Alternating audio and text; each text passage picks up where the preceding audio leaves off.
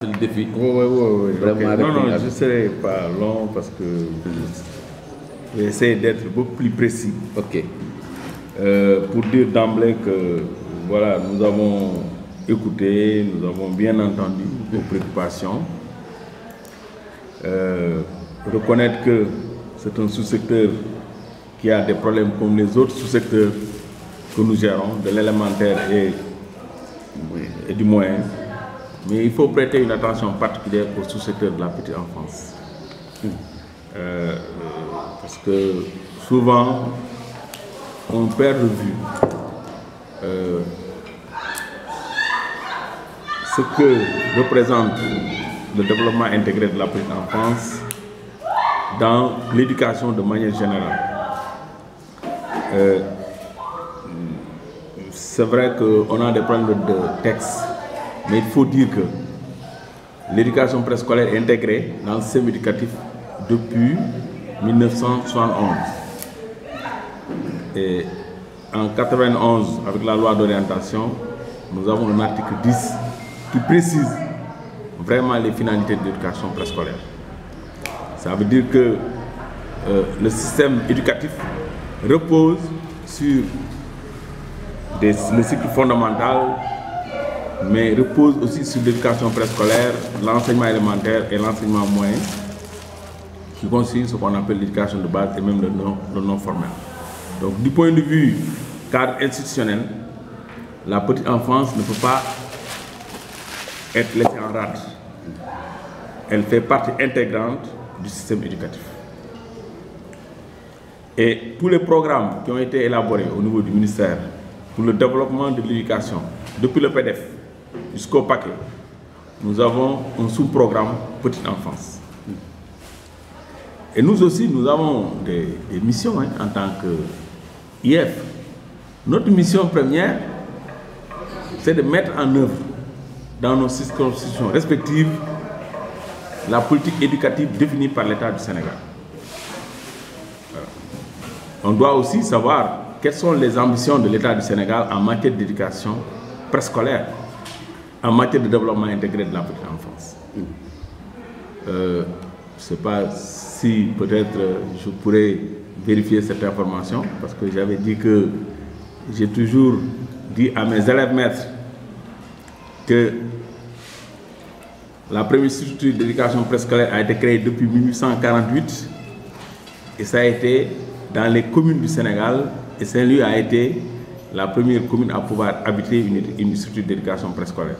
Bon, je pourrais, hein, j'aurai le temps peut-être de vérifier un peu l'historique hein, de l'éducation préscolaire parce que Saint-Louis a joué un rôle très important dans la mise en place de euh, l'éducation préscolaire. Il fallait dire que, voilà, euh, et vous venez de le souligner, la demande d'éducation préscolaire est très forte, euh, surtout dans les zones urbaines. Euh, C'est important et que l'État du Sénégal aussi considère que c'est un sous-secteur qui a plusieurs types hein, de structures. Il y a un type communautaire, euh, public, privé, et tous ces types sont considérés parce qu'il est même difficile, comme vous l'avez constaté, de faire la typologie des structures préscolaires. On a parlé d'école maternelle, on a parlé de cases tout petit, on a parlé, on a parlé. Donc, vous voyez que nous-mêmes, en tant qu'acteurs du secteur de la petite enfance, nous avons des problèmes pour nous situer. À pour plus forte raison, si on va carrément, vous l'avez dit, Macan, dans une sorte de polyvalence où on demande à des gens du secteur de l'élémentaire de venir un jour jouer le rôle qui était naguère dévolu au sous-secteur de la petite enfance carrément. Euh, la transformation de taille qui a été apportée, c'est qu'à un certain moment, on est carrément dans la polyvalence, même au niveau de la formation initiale.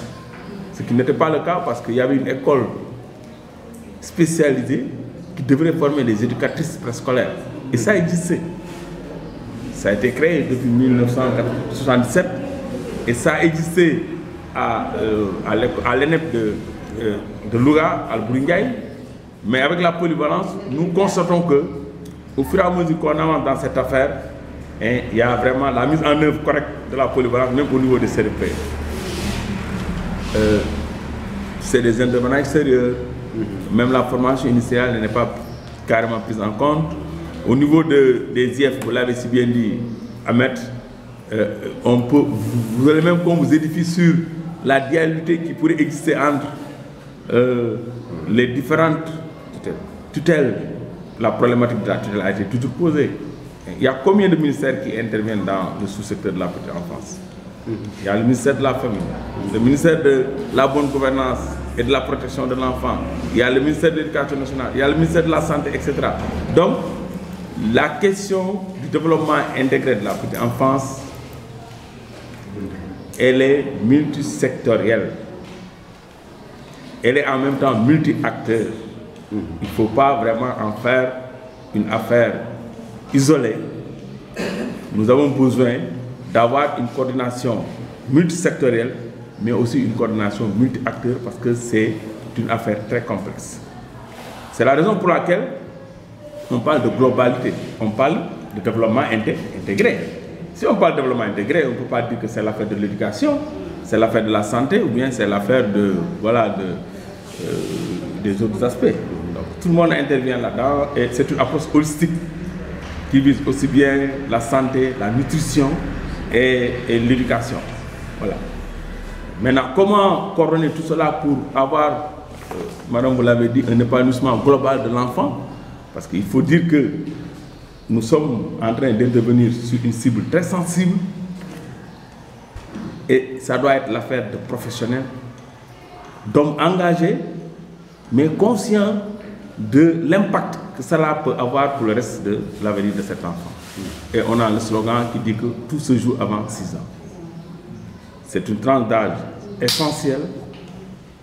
Si vous intervenez à ce niveau, il faut bien comprendre l'impact que vous êtes en train de, euh, de réaliser parce que l'enfant est en pleine croissance.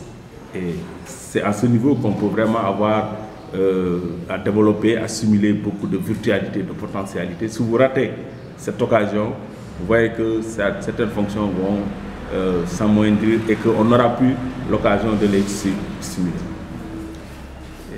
Et, tous les problèmes que nous avons au niveau de l'élémentaire trouvent leur solution au niveau du préscolaire. Donc il y a une articulation à faire à ce niveau. Donc vous voyez que dans nos programmes, on est obligé d'insister sur les ambitions de l'État du Sénégal en matière d'éducation. Et la problématique de tutelle aussi ne facilite pas les choses. Si vous voyez dans une euh, région comme Saint-Louis, la coordination régionale de la case de petite, l'IA, l'IF et les autres ministères hein, qui ont le dénombrement au niveau déconcentré, ça veut dire que si on ne réussit pas la coordination, on ne peut pas atteindre les objectifs constitués en matière d'éducation. Heureusement, il y a des spécificités. Comme vous l'avez si bien dit, au niveau de Saint-Louis, nous avons l'opportunité d'avoir, au niveau de l'IF, un point focal engagé. Vous l'avez si bien dit. Toutes les questions pédagogiques ont trouvé un début de, réponse. Même si on n'a pas pu réaliser tout ce qui a été planifié comme activité, mais vous avez si bien reconnu ici que les activités prioritaires qui ont été planifiées ont été totalement réalisées de manière satisfaisante. Grâce à l'engagement du CODEPL, du point focal et de la coordination régionale des cases ça veut dire que quelque part, nous avons une coordination qui, qui fonctionne. Vous avez aussi dit qu'il y a la position du coordinateur régional de la case qui ne fait pas de distinguo entre les différents types de structures. École maternelle, case de tout petit, etc. Et même peut-être euh, structures communautaires. C'est important.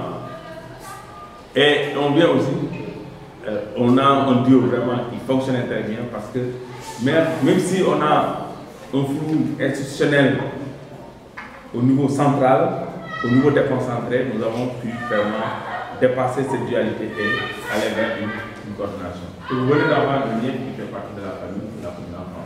Donc ça veut dire qu'on n'aura pas un duo, mais on aura un trio qui pourrait certainement réaliser les ambitions qui doivent se, fixer. Parce que si l'IF prend des engagements, les acteurs terrain, c'est vous. Et vous ne devrez pas être démotivé, Madame Babou. Euh, on fera tout pour que